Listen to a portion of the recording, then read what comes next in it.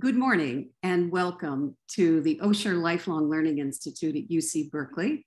I am OLLI at Berkeley's uh, director. My name is Susan Hoffman.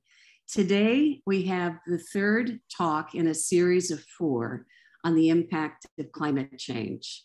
And today's talk is called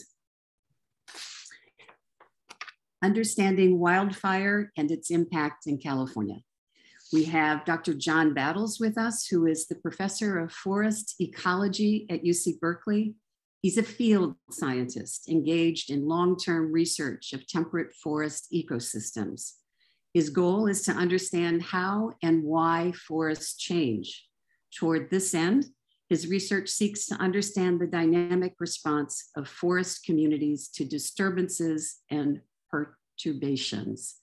And so um, John will again talk to us today about the impact of climate change on forests. If you would please uh, add your questions into the chat. Uh, Dr. Battles will speak for 40, 45 minutes and then take our questions afterwards. Thank you for being here. And Dr. Battles. Great. Well, thank you for the introduction, Susan. Just let me, um, does everybody see my slides okay, that entry slide? Good. Great, thanks. Um, yeah, so, you know, I appreciate the invitation to, to speak to you today. And this is a series about climate change. And certainly in the American West and, and in, in you know, large parts of the globe, the impact of climate change on wildfire is really one of the sort of the most urgent and sort of the precursor to the kind of changes we can see. And so it's, it's one of many you know, threats we face from climate change, but in some ways, because of the tight link between climate and, and wildfire, I would say it's it's sort of a it's an indicator, sort of a canary in the coal mine that we're seeing, and it raises lots of questions and problems that i am going to try and go through today. And I'll focus on sort of the California context. Forgive me for being provincial, but if you're going to be provincial, California is a big place, so it's still pretty it's still pretty representative of what's going on in other sites in the world. Um, as Susan mentioned, I'm a I'm not a wildfire scientist. I'm a forest ecologist, and therefore I spend my time um, thinking about forests. And I just want to point out that you know forests have always been sort of a, a big part of human existence. Um, you know, they from the very beginning they've been a valued resource. Um, you know, for construction, for protection, for the products they serve, you know, for the for the habitats they they, they support. Um, this has been true uh, from the very beginning of human time. And this picture down here in the lower bo bottom here is is where I had my, you know, this it's in Gilgamesh. you know, the first written recorded human history before Gil- Gilgamesh went on to his greater heights, his sort of his first success, if you will, was was going and and defeating Humbaba, who was the protector of the Lebanon cedars, which is this beautiful wooded lands at the heart of human civilization. And in, in, in, in the legend of Gilgamesh, he defeats him, he kills him, um, and then takes those forest resources and con, you know converts them to swords and spears to further his his um, his, his aggression and, and ambition. Um, so you go from Gilgamesh to the Paris peace, the Paris Accords, the climate accords that are our current sort of best hope for for reducing climate change, and forests also play a key role there. So they, they've always been part of our uh, a valued resource. Um, and uh, I think the scary switch is that to some, res- some you know, in some respects, forests are now also a bit of a threat to, to humans and the fact that they carry wildfire into communities and they have a big impact um, on, on both the ecology, but also on our society. As I mentioned, California really has been, as part of our DNA, that we are a leader in environmental protection. Um, we are a leader in the United States and we are a leader globally. You know, we're a big enough state where we can make these kind of, of, of efforts and we can fund these kind of efforts, but there's just a, an extraordinary amount of, of effort put into California to, to protect our environment. We have you know, we, we have sensitive species like the spotted owl and the Pacific fisher that are protection. We protect, you know, large parts of our waterways to try and preserve this, the, the Pacific salmon. And of course, we have every grove of the endemic giant sequoia in California is under protection, meaning, um, you know, there's restrictions on what you can do there. And then we have more broadly in this big photo here, you can see all of the, um, you can see all of the lands that are, are set aside largely for our wild heritage. So know, we're, we're a leader in it and we've been trying to do it and, and we are proud of it.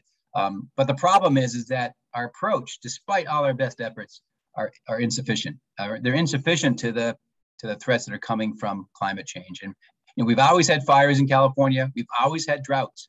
But what we're seeing now are these mega fires and these hot droughts. These are novel conditions. Um, that that our ecosystems have not adapted to, that our society honestly have not adapted to, and so they, they pose really grave threats.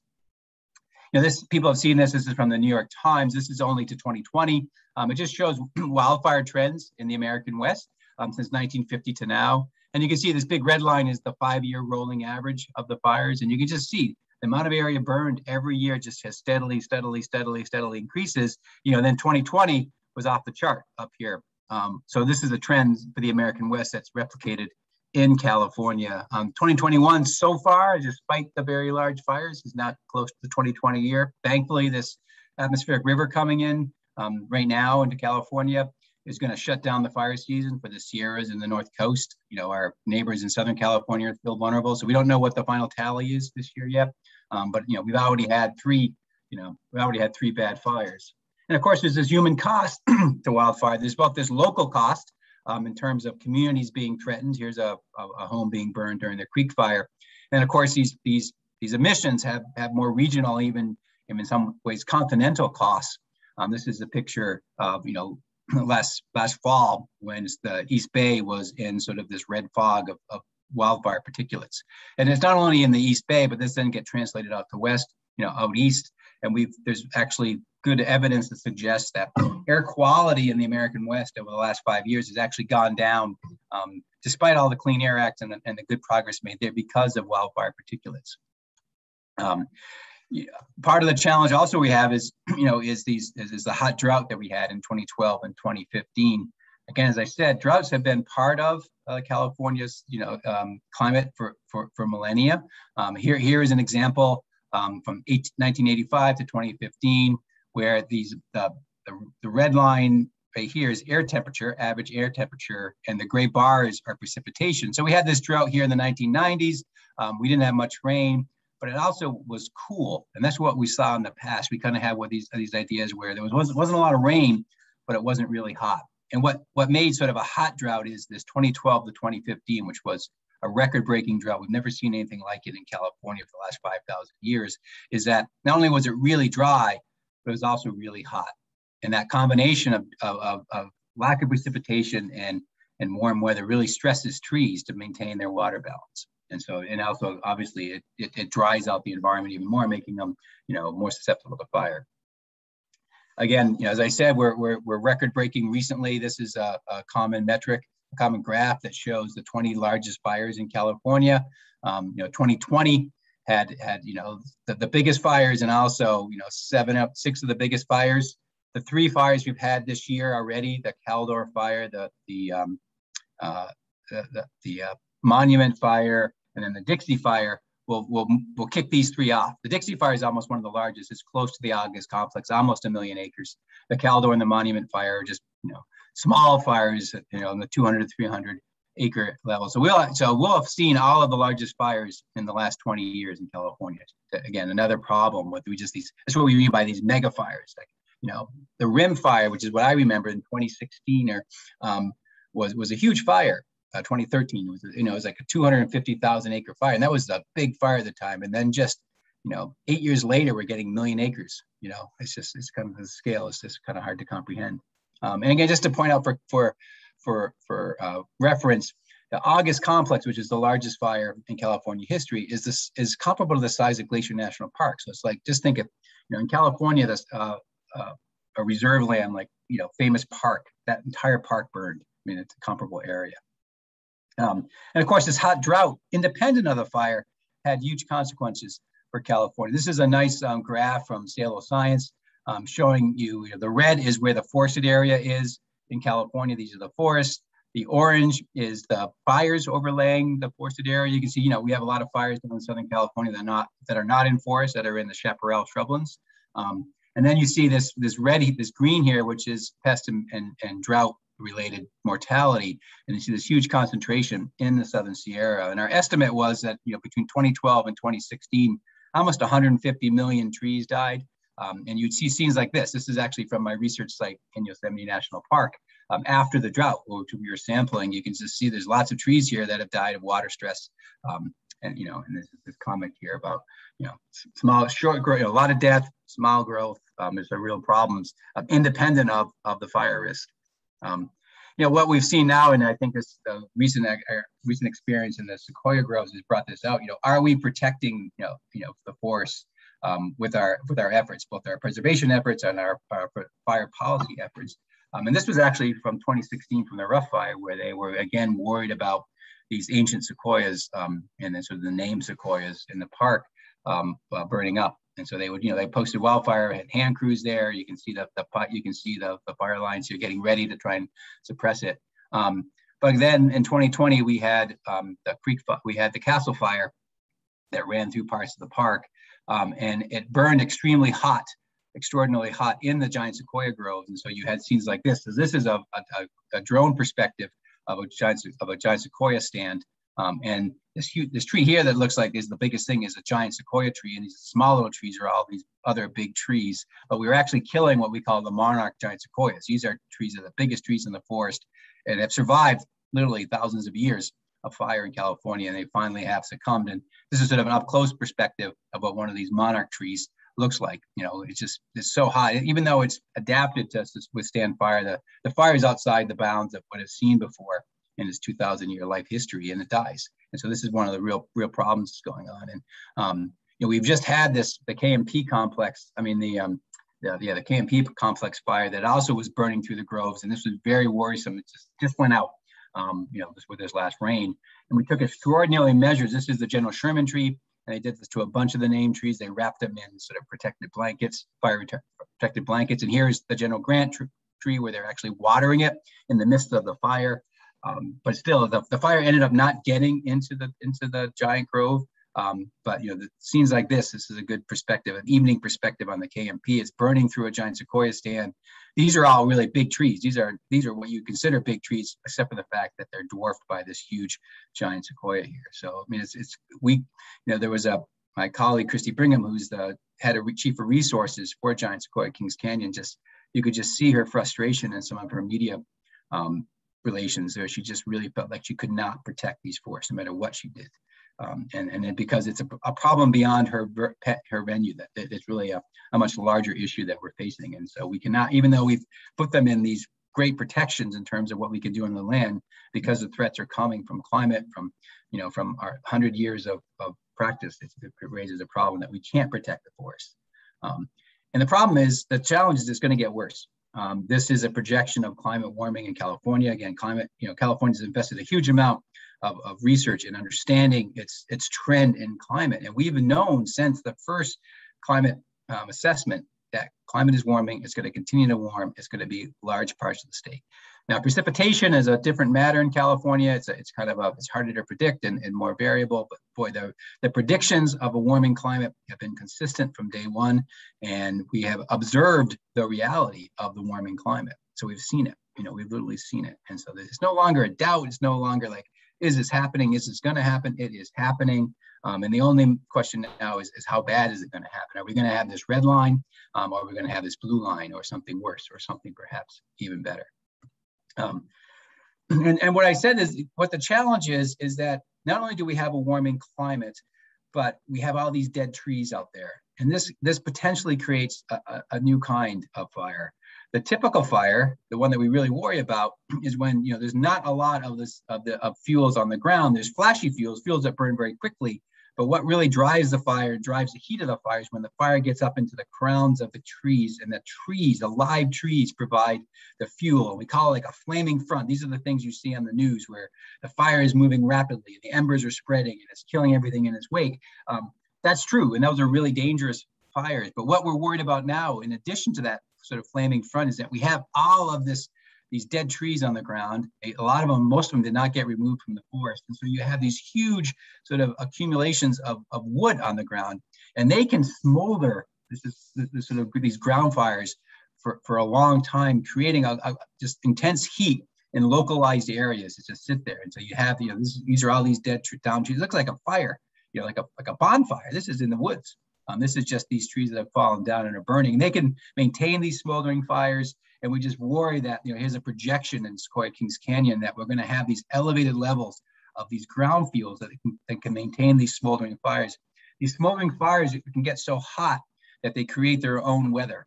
Um, and they can go from smoldering to flaming and smoldering to flaming depending on small fluctuations in, in, in air patterns. And so it presents this huge risks to the forest um, in, in, terms of the potential. Because you know you get this kind of fire near the base of a tree, and it just it just kills the it just kills the tree. Um, this is and this is Danny Foster. He's a grad student at Berkeley who part of his dissertation is to understand you know what the role of these fires is. He's trying to figure out what the role of this of these fuel loads, these brand new novel fuel loads where there's lots lots of wood on the ground, what that means for fire behavior. You know, as we think about this, like, you know, how did we get here? And clearly climate change is part of it, but it's also partly, you know, our own choices uh, as a society to, to suppress fires. Um, and, and this hasn't always been society's choice. Um, you know, when indigenous peoples um, were in charge of stewardship in California, they had a very different perspective. And so I, I kind of want to just quickly, you know, what, what has been the pattern, you know, what has worked in these forests as we look backwards. And so I'm going to go up to a place here right up in, in, the, in the Six Rivers National Forest. It's right here up on the, on the Oregon-California um, border. And we're going to use paleo, some, paleo, some paleoecology based on pollen cores in these two small lakes that, you know, um, uh, Agurabtak and Fish Lake um, in the Klamath. And we've done these pollen cores and we're going to try and reconstruct what the forest looked like, you know, for the last couple thousand years. Um, and here's what they look like now, which is pretty typical. Um, you know, lots of trees. Um, it's a very productive landscape if you take away fires. So, you know, fire has been suppressed there for the last hundred years. Um, and again, just the history here is that, you know, there's, there's a, there's a, um, the history of, of indigenous tribes in California is, is a tragic one, um, you know, with rounds of European uh, genocide and colonization. You know, the, the Spanish were first with the missionization along the coast. They handed it off to the Mexican rancheros. Um, but places in the interior and the north coast, like the Klamath, you know, the tribes there were really less un unmolested for the most part because they just didn't have valuable resources that anybody wanted to take. And aside from some trappers and hunter type, you know, there was no settlements um, and very little, you know, they still managed these lands, um, uh, you know, to their own to their own values until 1849, which was the gold rush. And then very quickly up in the Klamath, um, it changed very quickly. You went from where there was no European presence to this is a fort Ter-Waw. it was this from 1857. So within eight years, there was a fort there um, in Indian territory. And of course, it was driven by the desire um, for gold uh, in the miners. So we replaced, you know, really the indigenous stewardship um, with this this mining period, this expansion mining period. And you can imagine uh, miners weren't particularly concerned about um, the uh, long-term health and you know, of the landscape. They were there for one thing, you know, for the gold. So this is a, a recreation. This is from Clark, Clarke Knight's dissertation work. And she used pollen cores and other methods to go and recreate what the biomass, how much wood was there on the forest. And she could look back in time, you know, for, for thousands of years. So this starts in 1050 BC and goes to, you know, basically 2018. Um, you know, and this is a period when there was the vegetation was relatively stable. We didn't have large climate fluctuations. We were switching from conifer to hardwood dominated. It was still a, a conifer forest with some oak component and that oak, that component, you know, species would switch around a little bit depending on climate patterns. Just goes through the little ice age and the medieval warming. Um, it, we have a pretty stable vegetation that was just kind of shifts within a within a range. Um, and what she what we saw is that so this is you know but this is predictive of above ground biomass. How much you know biomass is in the woods? It's a measure of, of how big the woods are. You know, and it's fluctuated. You know, from 100 to you know we had this peak here at 200, but you know that was the one peak. But by and large, it's fluctuated around 100 you know, megagrams per hectare until very recently. And then, you know, with with the human colon, with European colonization um, and and the indigenous genocide, we took over the controls, and you know, we put in a, a no burn policy, a fire suppression. We wanted to protect the timber, and so you can see that you know one you know one aspect of that is that we've had a huge increase in the amount of biomass in the forest. And here's a picture of it. This is what like a you know for those of you who don't go out in the woods, this is what a, a forest up in Six Rivers looks like if it's about, you know, 100, 110 megagrams per hectare. And here's something that looks like something closer to, you know, 300 megagrams per hectare. Just a lot more trees. It doesn't look bad in some ways. It's just a lot more trees in there, a lot denser, um, both small trees and, and, and large trees. Um, you know, and, and we also, you know, this just documents, you know, uh, the fire history here is that you know, we're looking at tree rings, you know, the trees that survive a fire, put a, put a wound on and then they scar over it. And so we can see age since the scars. And these are a whole bunch of trees. Each one of these lines is an individual tree that we were looking to see where the fire scars occurred in the landscape. And again, these are even, you know, all the trees up here are pretty long lived. They live to be two to 300 years old. Um, not every, not all of them approach the giant sequoia three millennia, but they do live hundreds of years, and so they record the occurrence of trees. And this is sort of individual trees that we aggregate to see how frequently there was fire. And you can see throughout the 16, 1700s and 1800s, where our record's really strong, it was really frequent fire. It burned every five, you know, every 10 to 15 years, there was a fire in the landscape. And then, of course, in 1910, we, we had a federal policy, a national policy of fire suppression. The Forest Service was well entrenched in California, and we virtually had no fire in this area since then. So we've had this 100 year gap. And that's led to this sort of increase in, in biomass. And so here's kind of a the last couple of 300 years there. It's just the same graph, just zooming in. Um, you know, back in 1675, this was under indigenous stewardship. Again, you can see this just because of indigenous practices, cultural burning, prescribed fires that they use for a whole bunch of purposes. They maintain their landscape. And then 1850, we had the gold rush invasion. Um, there's this transition period. You know, again, the tribes are still there, but the miners are expanding. Um, we stopped fire suppression in 1910. Um, in 19, 1950, we created uh, the Six Rivers National Forest. It kind of brought in an era of, of some timber extraction, but that also stopped around 1980 for, for various purposes, you know, partly because of environmental concerns about habitat concerns about spotted owl, but also it just wasn't very profitable to, to haul wood to get wood way up there far away from from ports or from from customers and of course the forest has been under this suppression and we've seen this huge increase in biomass that's partly why we're having these mega fires not only is it warmer um, than it used to be but we also have just a lot more fuel in the landscape so we can carry these these catastrophic fires and so we see for a lot of forests like this um, again, at one level, it doesn't look like it's particularly unhealthy forest. This is in the Tahoe National Forest. Um, this is a pretty, but you can see that there's just a lot of trees. Um, you know, they're, they're closely connected. If a fire gets started here, it can go up from the ground into these canopies. Lots of fires to burn, not a lot of space between them. Um, and this really is something that, that, that I think was been brought up is that there's a current, there's a, there's a big push from a small, a couple of environmental groups who have scientists um, as part of them that are arguing that thinning the forest, these fuel treatments to reduce fires actually have the, the opposite effect and make fires worse. Um, to put it bluntly, I think that is complete false, completely false, um, and it does not follow the best available science. Um, the, the, huge weight of evidence is in the opposite direction. I've, if you want, I don't want to go into that, but I've provided um, Susan a, a, link to a recent Sacramento Bee article that really lays out what I would say is the argument of the vast majority of the scientists who are working on this. You know, fuel treatments in these kind of forests do work. They don't stop the fire, but they certainly reduce its impact.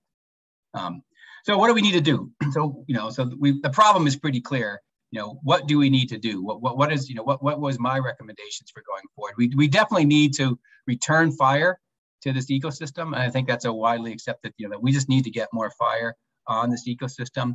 Um, this is a picture from the Blodgett Research Forest up in up in um, Georgetown, California. Um, we have a you know part of our training there and part of our own management practices and part of our training and research is about prescribed fire. So we do a lot of prescribed fire up there. Uh, we we do train and we also train a lot of, of burn bosses to come through there. This is an example. This is Ariel Roughton, who is our current forest manager, and she's training Varya, who is an undergraduate student and now an intern at the forest, you know, figuring out how to do these prescribed fires. And so we take that hands-on approach where we're trying to train the next generation um, and this is Jen, uh, Jennifer York, who's also, again, an experienced fire boss who's there part of the training. Um, and I would just say, uh, you know, we also need to get, um, you know, as many people as possible into it. And so um, this, this, this, this emergent, and this is a typical prescribed fire, you know, where we're trying to put fire on the landscape. It, it just, it removes the, it removes sort of a lot of the, the, the fuels there without harming the canopy trees too much. Of course, we also have to learn and collaborate with, with our indigenous colleagues. Um, you know, they have been doing this for millennia. It, was part of their part of their culture, part of their heritage, um, and they burn for two. You know, they burn for multiple reasons. Um, they they burn both for for cultural burning, which which you know again reduces fire risk, um, helps you know, maintain the ecosystem. You know, one of the key things about these these forests, not only have they increased in their biomass over time, but in the Sierra Nevada and other other conifer dominated, we've, we've eliminated or reduced the amount of oak trees, which are again a traditional um, food source um, for the for indigenous tribes. And so we reduce those those oak harvests because they tend to like more open areas, and so you don't have them, you know. And so we um, we need both of them, you know. And this also not only are we doing the burning, but we need the planting that comes afterwards, you know, where some of these plants are, are reestablished into the into the landscape to again to, to, to, re, to restore and, and to recreate what we think was a was a stable and, and, and resilient landscape. Um, we also have to innovate our forest products industry. They play a big role. Um, you know, this the, the, fuel treatments are extraordinarily expensive.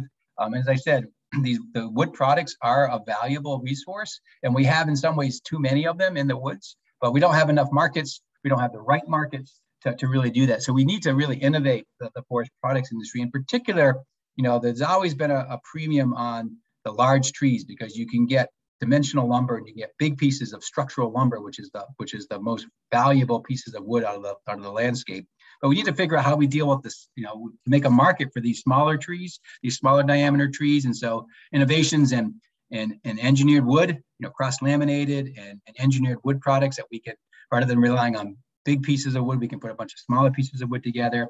We also need to think about, you know, is there a potential fuel source here? Could we use this wood biomass to create liquid fuels as well as biomass plants? So there really needs to be innovation. This has the, the other sort of beneficial impact of, of, of, of you know, rural economic development. These could be good um, sort of career building jobs that don't involve firefighting, which is a, one of the big courses of, you know, one, a, a, lot of our firefighters come from rural communities, and, and that is a, a, career, a good career, but it's also a dangerous career. You really don't want to have more firefighters um, risking their lives and breathing smoke. It'd be much better to be in a, a forest products industry that has a, career path. So good jobs, um, valuable products that, that also do well for the environment. So we need to innovate the forest product industry, no doubt about it. Um, we also need to understand recovery from catastrophic fire because regardless of our best efforts, we have been getting these catastrophic fires and we will continue to get them. So we need to understand, okay, when these happen, how do we recover from them? How do we prevent the, the worst possible outcomes from these fires? This is an extraordinarily scientifically challenging and also um, from a policy perspective, it's, it's usually challenging. While there's, while there's, um, you know, well, I think the, the scientific evidence for, for the value of thinning to reduce fire, you know, fuel hazard treatments are valuable. What happens after a fire in terms of salvaging is, is, is a more challenging ecological, more challenging scientific question. So we need to understand what's going on. This is some of Sydney Glassman's work, who's a professor at UC Riverside. You know, she's been studying, you know, from the rim fire, what happens when you have one of these catastrophic fires? All the trees are dead here. All of the surface fuels and forest floor are gone. Um, you know, what, what happens? You know, how do these forests recover? What are the keys to recovery? And you know, one of the keys to recovery are these symbiotic um, uh, fungi called ectomycorrhizae fungi that also produce some of the, the precious uh, mushrooms that we like to eat and harvest from these woods. But they're crucial, these symbiotes are crucial to the successful recovery of a forest. And, and Sydney, Sydney is working on that, which she's really some good insights. And in particular, she it's it's it's it's hope that that the key symbiotes don't die in these high intensity fires, and they're there to help you know the, the new trees colonize and reestablish. Um, we also have to fill in gaps in, in, our, in our knowledge. Um, a, one consequence that's coming from a lot of these fires and, and, losses of forest is that we're having more shrublands grow into the Sierra Nevada and the North Coast. Um, this work, this here, here is some recent work from, from John Wang, who's a, PhD, a postdoc at, at UC Irvine, um, showing that he, using satellites surveys from 1985 to currently, you know, there's this huge increase in the amount of shrub land out there um, and this green is a decrease in, in forest land. So we're having this forest to shrub conversion going on. This happens, it's not going on, it's happening in California.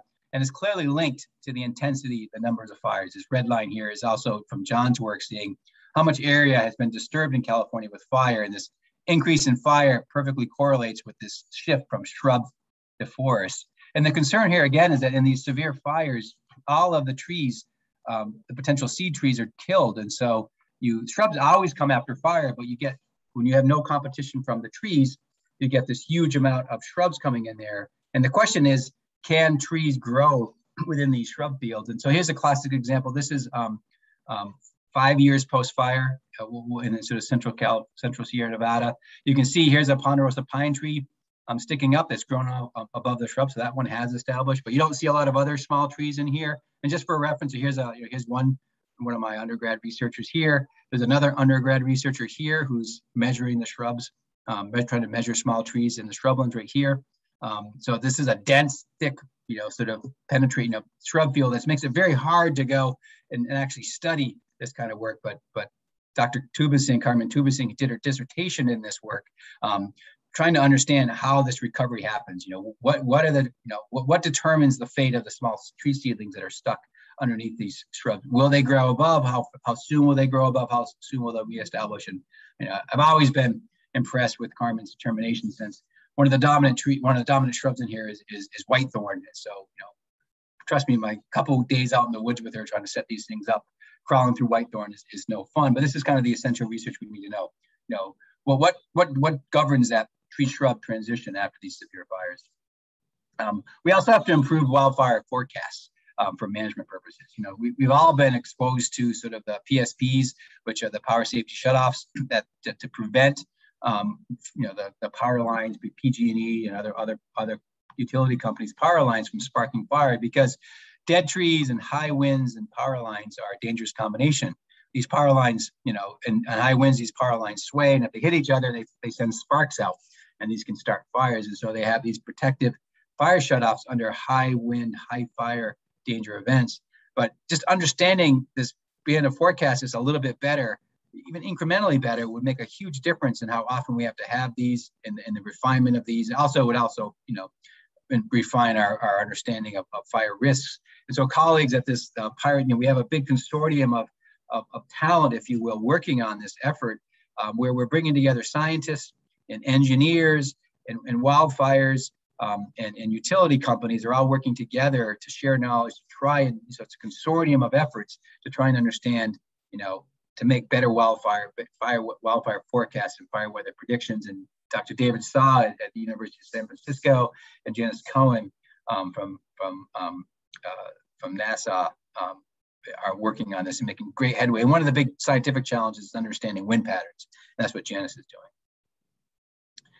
We also have to think outside uh, the forestry box. Um, you know, the, again, the industry has a, the, the, the, industry has a lot to, you know, to do in terms of its products, but also what kind of forest are we going to grow? in the future. We know that climate change is happening. Um, regardless of whether there's a fire there, it's getting warmer uh, throughout the state. And so that changes sort of the what, what trees grow best, where, under what conditions.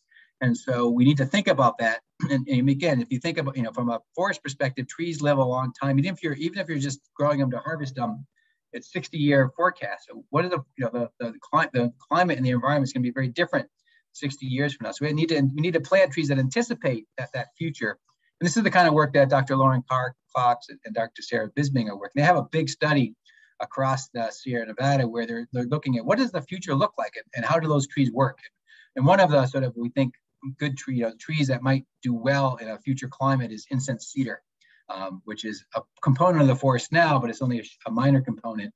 But it seems to do well. It seems to be one of the most drought tolerant um, trees out there. It seems to do better under warmer conditions. And so we're doing these trials, these where we're looking at, you know, what does this future look like with this Sierra Nevada Adaptive Management Project? Like we're trying, what are the trees for the future? We need to understand that. How do we plant them? How do we manage them? What species do we put out there? Those are, that's super important. So we need to think outside of what, you know, again, you know, forestry has been a, a, well-established science in California. We have good understanding of what forests have done for the last hundred years, but those don't hold anymore. So we need to think outside that box and what does the future hold? Um, you know, again, California is, is a leader in this and it continues to lead. Um, right now, California, uh, in January 2021, it, it launched this action plan, California's Wildfire and Forest Resilience Action Plan. And it really was a comprehensive strategy. Um, I've been engaged with this plan. I'm, I'm, sort of the co-chair of the Science Advisory Panel. Um, we both with the, the, building up to this plan and now also the task force that's, that's has the job of, of trying to implement it.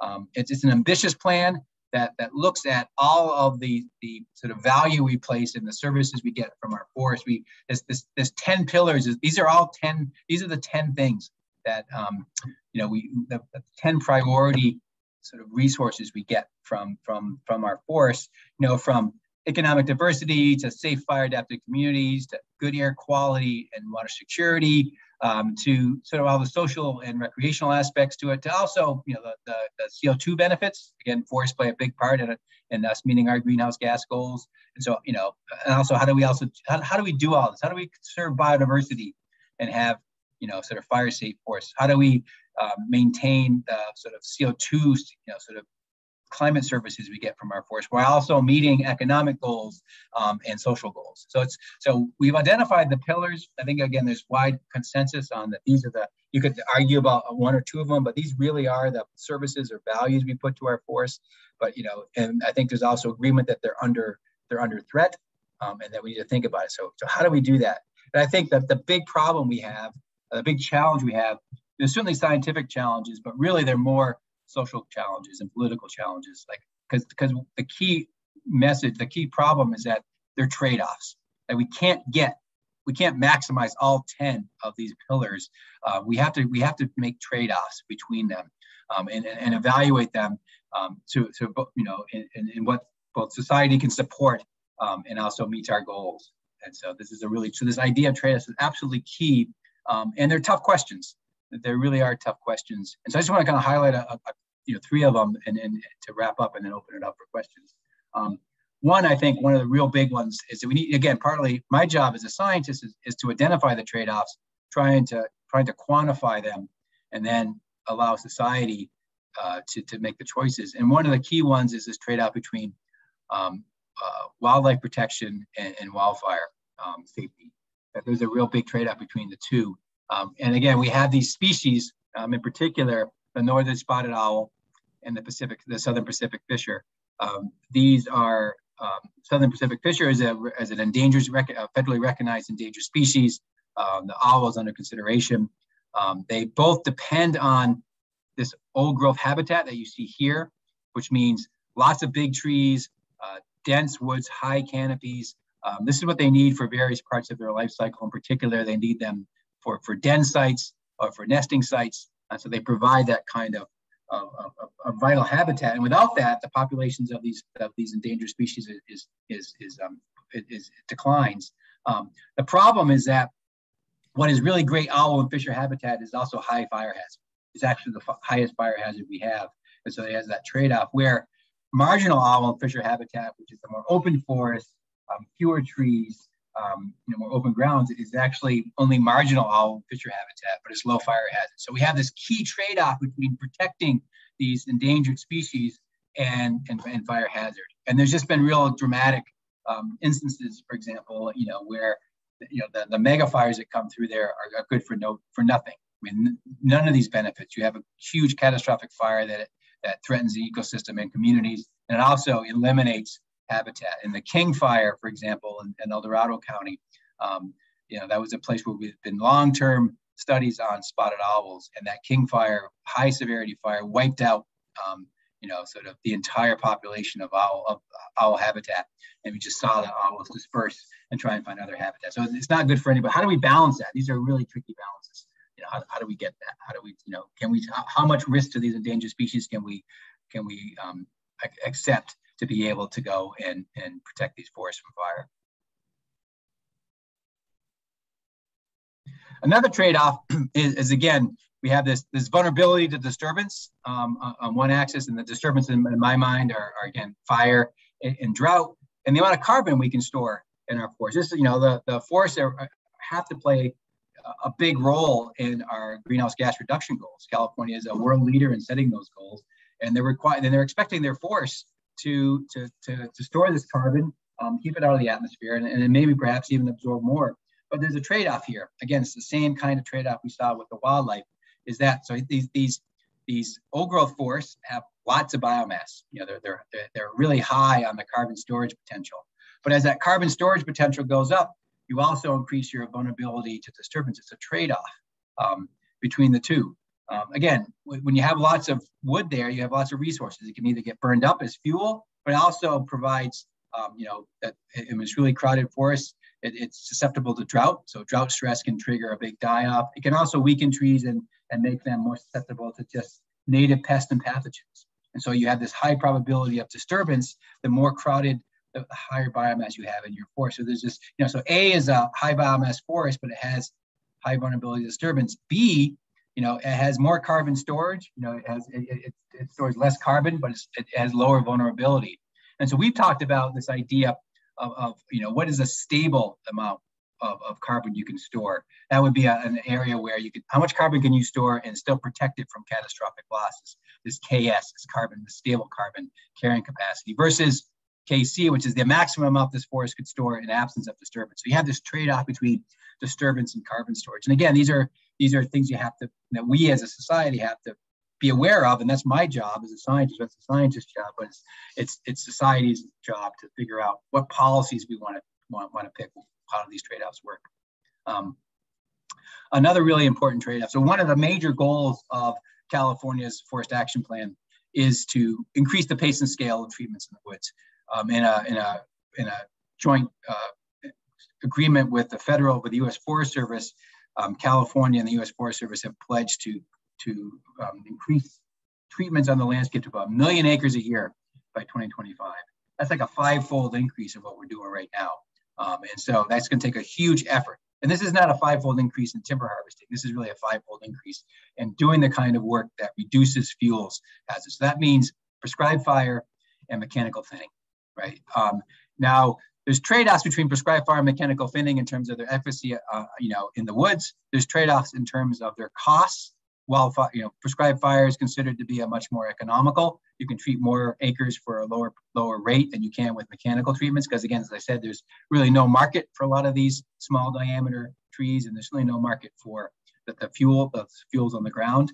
Um, but there's another trade-off here is that that you know there's a huge air quality smoke emissions aspect to it. So I think here when we have a, a wildfire, you know, catastrophic wildfire, nobody thinks that's the best way.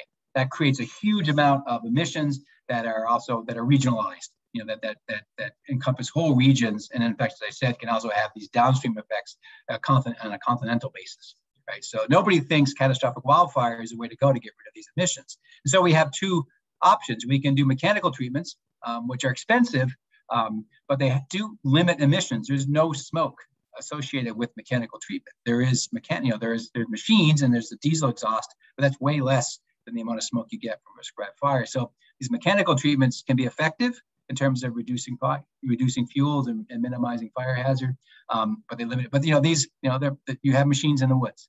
Um, prescribed fires again, super effective um, and, and cost efficient, but they do create local emissions, right? They do create local emissions. That there's going to be some fire, and and then uh, and while we do our best to burn on days where the wind patterns bring them away from communities, um, if we're going to increase the pace and scale, one of the big limits on the amount of prescribed fire we can put on the landscape are air quality rules that minimize the number of burn days because of concerns about public health.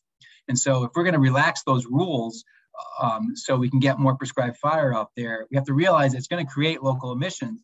And so we have this problem where, um, you know, nobody want, nobody benefits from these regional emissions.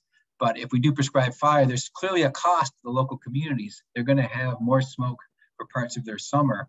Um, and so we have to think about not only the efficacy, you know, the ecological and economic aspects of it, we also have to bring these environmental justice aspects to it. You know, is it is it fair and just to ask these rural mountain communities to endure more prescribed fire because we need to avoid these big regional emissions that flow into the East Bay? You know, as, a, as an East Bay resident, I have some concerns about that uh, from a fairness perspective. And I think, you know, the, the job is we, we have to protect the forest and the communities that depend on them. And, you know, environmental justice, it's, it's embedded in our landmark 2006 law that this greenhouse gas reduction has to happen in an environmentally just way. That was really a landmark part of our law that we, we brought that into a law, but we, you know, it has to be more than just um, words, it has to be actions. And that means thinking about this right now, what the environmental justice aspects are of these trade-offs. All right, so, you know, um, this is a term that Governor Brown used, and you've seen in other places that we need to come to terms with with this new normal. I mean, that that is a fact. The forests have already changed because of both past actions, 100 years of management, and also climate. Um, and so we have to we have to we have to realize that the forests are not what they were before, and that we can learn from the past. That is that projecting the past forward is not going to be okay. We have to think about you know um, we have to we have to figure out how to go forward. And again, um, some of our colleagues from the indigenous tribes have a lot of insight because they've done this before. Um, but we have to think, you know, and I said in a lot of ways outside the box to to protect these these these vital forests um, in California. And again, just to, um, I've gone through just you know as a sort of a scholarship note. Um, I this is a I've shared this with with OLLI they have this presentation. This is a link to notes um, on, my slides. They're itemized slide by slide. So you'll have the slideshow. Um, and, and some of the slides are from my work. And so I put the people there who've done them. You can look under the people. But I've also, this, this link here will bring you to a text document that, that if you need, if you have more information, more interest, you want to follow up, um, this will point you in the right direction. It'll show references and websites where some of this information came from. So with that, um, I'll stop and open it up for questions. Uh, John, thank you very much. Uh, what um, what a comprehensive look. Um, and you know, I think many of us have been feeling so helpless and so hopeless about the wildfire situation. Um, and I think um, in what you have just uh, shown in all of this detail, and particularly I'm very interested in the pillars of, of resilience um, and trying to get that more out as a kind of key guide uh, to OLLI members. And so thank you for sharing your PowerPoint slides with us. Um, you will see in the chat, there have been numerous questions as well as, and I wanna point out to the members who are involved in, in, in this talk, a number of resources. Um, and what I'm heartened by, one of the things that has been of interest to OLLI is how to take the learning, such as, as your talk today, and um, pivot that to making a difference in the world. How can we turn that into an advocacy agenda? Um, you know, because we know our OLLI members are activists at heart and interested in becoming involved. So one of the um, the questions I've got two main questions to sort of pose to you. Um, OLLI had uh, two weeks ago, over a weekend, we had um, a National Science Foundation grant to talk about, um, about STEM and about moving STEM to STEM advocacy. And in that, with OLLI members and undergraduates, we posed the question, the problem that was to be solved for that day was the recovery from wildfires. Yeah interestingly, interestingly enough, the um, 60, 50, 60 participants chose to look at the human impact they, and were very human centric in their solutions. So, one of the things um, that I think we are grappling with is how do we begin to widen the lens so that people also think either even further about nature and what we can do to recover, recover nature from, um, from these catastrophes. So that's just a philosophic question right. around how do we expand consciousness. The second part is really wanting to plumb further into the governor's forest management task force. Um, people have included a link, and if there's anything else that you want to say about it, whether or not there is, um, is there good representation? How big are they? Um, are there indigenous, um, you know, representatives? And further, you know, are we learning, are we incorporating some of those in, indigenous methods? You've talked about some of them, but if you could start us off in, in the direction of some of those questions. Right, well, I think that from a philosophical perspective, that's a good place to start.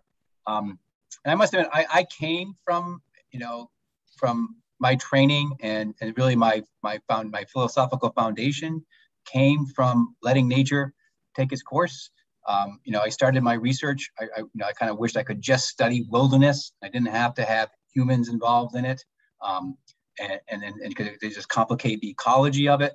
But as, through the course of my career, though, I realized that you know, particularly um, you know, in California, for example, yeah, and that's one of the arguments. Like, why do we need to be treating these forests? Why are we getting in there? Because why don't we just let nature take its course? Well, that is a false premise, particularly for California.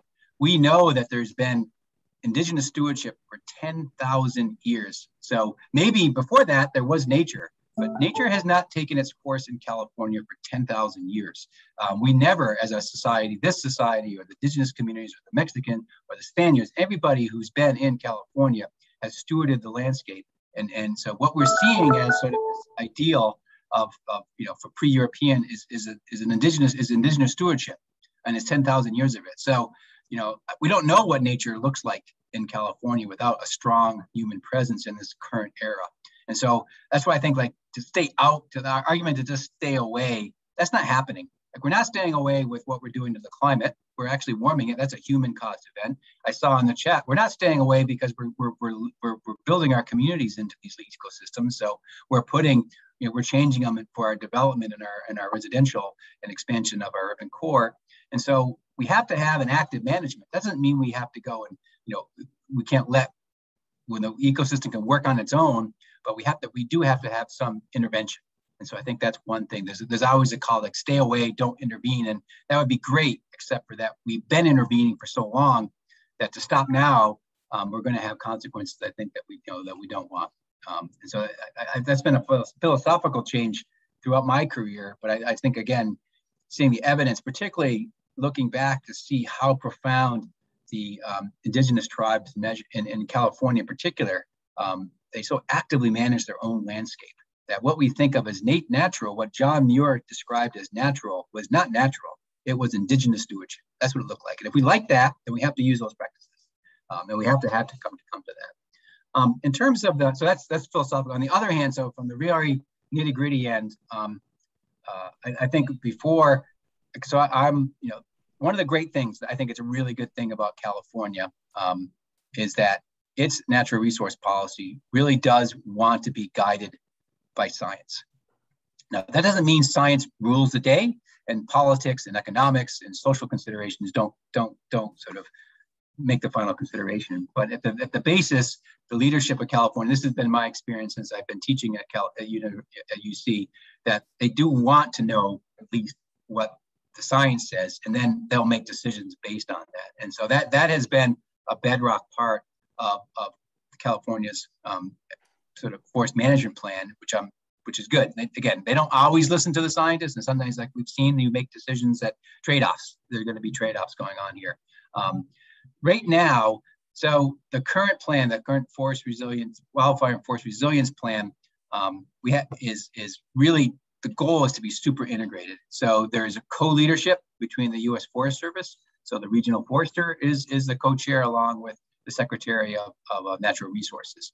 And then on that leadership board, they have um, that the tribes have a you know the tribe is on the, the, tribal representation on the leadership board, as well as county representation um, across the board. So we're trying to get that idea that we both need sort of the, the higher level leadership as well as um, the tribal as well as the local engagement in it. And so we're trying to do that because again, none of none of these solutions work without buy-in from from the local regions. You can't do if, if really the populace is not engaged, uh, it just won't happen. And so we need to get that local buy-in. We need to, you know, we also another key part of the the action plan is that it, rep, it recognizes the, the ecological reality that the fire regime is different in different parts of California. So I was focused on the Sierra Nevada and sort of the forests of the North Coast, but there's also a huge fire problem in Southern California in the in the chaparral woodland, chaparral and um, chaparral lands down there. And that's a completely different story um, in terms of the fire regime, in terms of the risks. In some ways, there's too much fire um, in Southern California um, that, that's, that's coming in there. And so prescribed fire might not be such a great idea um, or might not be as effective. Um, so there's just these different challenges. And so we have to have regional solutions. And so another key part of the action plan is that the state has been divided up into regions. And the, I, the goal is to provide the resources and the information and sort of some overall guidelines, um, but let the local regions make those choices on what one of those, those pillars is most valuable. Because you can expect you know, reasonable people to have differences of opinion on how much you balance endangered species protection against wildfire protection, how much you, you know, how much carbon storage versus wildfire protection, you know, clean water you know, clean air versus, um, you know, protecting um, recreational values. So there's all, so you want these solutions to be, you know, regionally guided. So there's not one, so it doesn't come from the top from Sacramento um, telling people what to do. Um, rather saying, here's our overall goals, um, and here's you know the resources and the knowledge to, to make to make local decisions. And so we're just rolling that out right now. Um, and again, you know, the, the science advisory panel is, is providing input for, for, for, for how, how to organize this and trying to get the science out there, trying to get the tools out there to evaluate um, and, and then leaving it up to the, the policymakers. And in some ways, these, these regional groups. And John, could you suggest a number of nonprofits um, for either at a state level or even our local regional level that you think yeah. would be particularly valuable for people to know about? Well, the Nature Conservancy has a is playing a big role in it, um, and, and in fact, those ten pillars came out of a, a Nature Conservancy collaboration with the Forest Service called the, the Central Sierra, the TCSI, the Central Central Sierra Tahoe Initiative, where they tried to manage on a, a regional basis, um, tried to get all the resources together to take long-term planning a key part of this is that this is not a one shot. I know that you know um, right now there's a huge amount of interest in it. You know, and the governor and the legislator have a, you know have, uh, have allocated 1.5 billion dollars this fiscal year to the wildfire problem. You know, the problem, the challenge is that it's not a one year problem. It's a 20 year problem, and then something you know to get a handle on is that something we have to maintain every year. It's not like we have to stop. And so that you know the, the, the Nature Conservancy was really engaged in like how do we plan how do we set up structures that we can go and plan what happens this year, then next year? Like we have a priority list of treatments that get you the best bang for your buck in terms of your goals. You know, wildfire, you know, reducing wildfire hazard, protecting um, water resources, um, you know, minimizing the amount of air pollution, those sort of goals. And so they were really, they, you know, they were a, a leader in that. Um, I think another uh, you know, big, you know, the Sierra Nevada Conservancy, which is not an NGO, but has been really big in helping to organize and think about how you do this kind of regional planning for the Sierra Nevada. Um, and another, another really, I think, again, sort of local regional group that's very, that's doing a really, really interesting work is the North Coast Resource Partnership. Um, that's a, a, a, regional alliance that has at its leadership board, it has you know county representation, and because it's in the North Coast, that's in the heart of Indian country. It also has representation from the tribes um, and, and, and, you know, you know, and sort of decision authority, where I think there's five representatives from the counties and three representatives from the tribes that make decisions on the prioritization, the allocation of, of state money for the treatments that happen in the North Coast region. And so that's another um, sort of, I, I, think it's a, I'm not even quite sure if it's a 501c or I think it's an NGO that does this. And it's really an interesting model for how to come together. And you see and you see the differences. You know, the county, some of the counties tend to be very interested that they, they desperately need economic development. So they're focused, they see the value of economic development and where the indigenous tribes see a, a greater ability to be able to, to restore a lot of the cultural and the, and the landscape that they think is part, that is the right way, that, that, that their, their, their experience is, is, is a healthy forest. So you see that kind of, of, of, of trade-off going on there. So those are three, you know, those are, you know, say the Redwood League has been You know, they've really been, you know, especially with the, the, loss of the giant sequoia, they've also been, deeply engaged um, in, in, terms of, of, I think, productively engaged. I, you know, I have, again, I, I work. I, I, think that the environmental groups in California have done a lot of good, um, and I think this, I, this, this, this um, sort of attack on fuel treatments and sort of the counter, the contrarian science is coming from a, a relatively small group, the John Muir Project, um, is, is one of the main leaders of this. And they're, they're an outlier even among environmental groups. Great. I know in working in arts advocacy and higher education advocacy, we would also turn to environmental advocacy because we felt like the environmentalists um, really had some of that terrain etched out um, uh, much more kind of progressively and uh, with enlightenment you know, I love the presentation um, and showing the photographs of the scientists who are working in the field and noting um, their youthfulness. that gets us. That's our hope. That you know, that, that really is our hope. yeah. I, I, hate to. I don't mean to, you know, cast aspersion, but I've cast it on myself. But our generation failed in addressing this issue. We really did, um, and we're leaving a big problem to the next generation. And so I feel a lot of times like where I need to put my efforts is to make sure these people have all the skills they have to be able to address a problem that but we we, we whiffed on, to be honest. As a, you know, our gen- broadly, um, we have not. We were in the leadership role, and we did not make a change. Right. Um, that we needed to do. Well, I'm going to ask one final question just so that we feel like there's something else we might be able to do. One of our members has fallen trees on her property should she remove those? Uh, how close are they to your house? If they're, you know, you don't, you don't, you definitely want that. You don't want them close to your house, but a big tree that's farther away, like you know, within that hundred foot clearance, is probably not a big problem. Um, but you don't want them close. You certainly don't want them close. Um, and so that, I think that's the biggest problem. So. Yeah, John, thank you very, yep. very much. Um, To everyone who's here listening, we, we will uh, send you the notice when we've been able to caption uh, John's talk. We have his PowerPoint. And so sometime next week, uh, you'll receive an email from us uh, with all of that. And look for um, the Berkeley Talks uh, podcast, which we hope will, will develop as well. John, thank you very much yeah. for your work and thank you for your time today. Well, thank you for listening and I appreciate the invitation. Great.